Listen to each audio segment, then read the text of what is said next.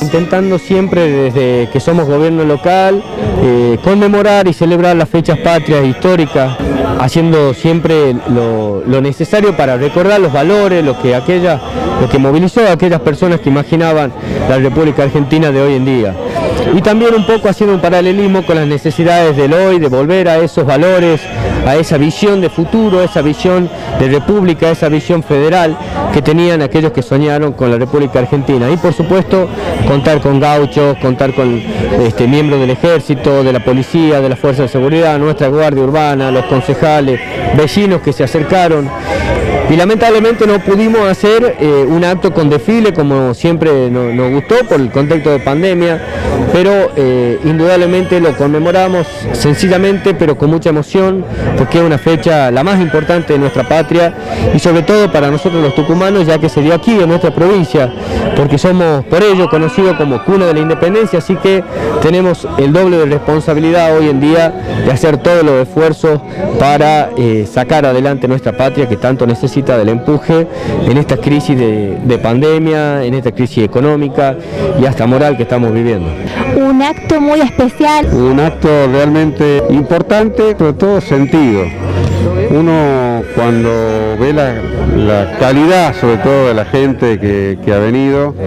y que ha venido realmente con un sentido patriótico eh, real,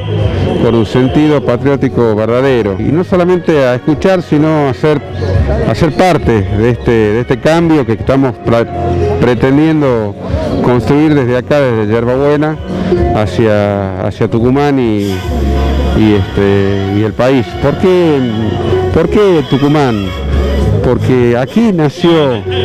la independencia, aquí se libró la, batalla que salvó la suerte de la revolución y de la independencia. En virtud de ello creo que los yerbabuenenses tenemos un, legado de honor, un deber de honor,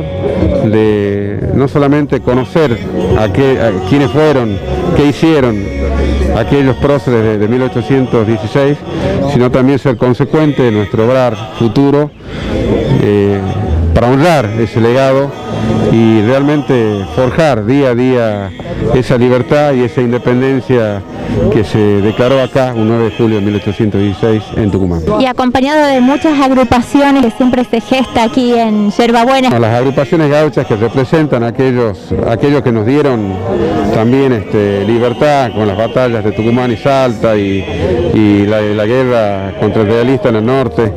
Eh, también los veteranos de Malvinas, los veteranos de, la, guerra contra la subversión.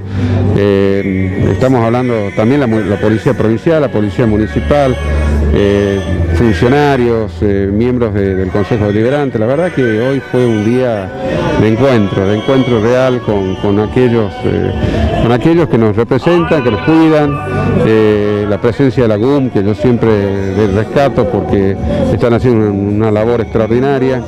Bueno, la libertad e independencia no solamente se conquista, sino también se defiende. Así que la verdad que un día, un día especial el de hoy. Además, en un lugar muy especial, la ex Plaza Vieja, podríamos decir. Sí, una plaza muy remodelada, una plaza en donde se luce no tan solo los juegos y la infra, sino sobre todo los árboles y el verde que le dan la identidad a nuestra ciudad, a nuestras plazas y es lo que somos como Tucumán, ¿no? porque realmente hoy en día se pueden aprovechar los espacios públicos y es una, uno de los, de los grandes logros, te diría, que hemos alcanzado en estos años de gobierno, porque hoy la gente disfruta de los espacios públicos y era lo que nosotros soñábamos, porque esta ciudad es para ser disfrutada, para ser vivida, para que intentemos también eh, acercarnos a buenos parámetros, por ejemplo, de seguridad, cuando hay gente en las plazas hay seguridad, y hoy bueno, estamos trabajando con la Guardia Urbana y el Centro de Monitoreo para hacer los esfuerzos de intentar disminuir aún más la, inseguridad que tanto golpea también a todos los tucumanos, así que eh, a seguir adelante y muy feliz 9 de julio para todos los tucumanos